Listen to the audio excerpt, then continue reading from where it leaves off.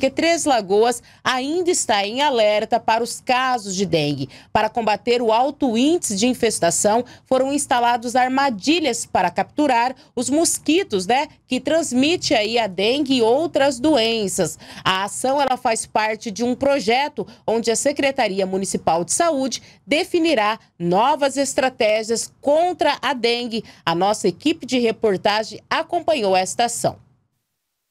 A armadilha é um pote com uma palheta. Várias delas foram instaladas em diversos bairros de Três Lagoas para capturar ovos do mosquito Aedes aegypti. Os locais são estratégicos, sendo nos quintais de residência. No bairro Vila Nova, a nossa equipe acompanhou o trabalho dos agentes de endemias. De porta em porta, os servidores visitaram várias casas e estabelecimentos comerciais. A agente de endemias Vera Lúcia conversou com a nossa equipe e explica como é feita a instalação. É, essa armadilha a gente coloca ela a cada 300 metros, né? A gente aborda o morador, pergunta se ele aceita que a gente coloque né, na residência e tem que ser colocado numa área coberta, né, que não pode é, tomar chuva, entrar água, nem mexer, nem tipo assim, onde tem criança que mexa, cachorro, gato, essas coisas. E aí a gente coloca o levedo de cerveja, né, 1 ml, depois completa com 300 ml de água e aí deixa lá no cantinho, né? E aí daí sete dias, aí a gente vai poder vir para recolher essa palheta que a gente coloca aqui para ver e fazer exames para ver se tem os ovos do mosquito Aedes aegypti. De acordo com o coordenador do setor de endemias, Alcides Ferreira, foram instaladas 352 armadilhas em todas as regiões de Três Lagoas.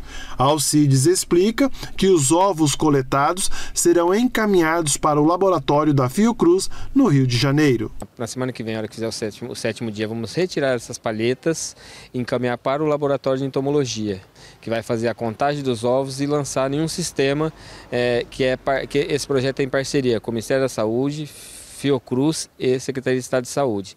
Então, nós vamos lançar num, num, num sistema é, as informações por armadilha quantos ovos foram coletados. Em 2023, Três Lagoas sofreu uma epidemia de dengue.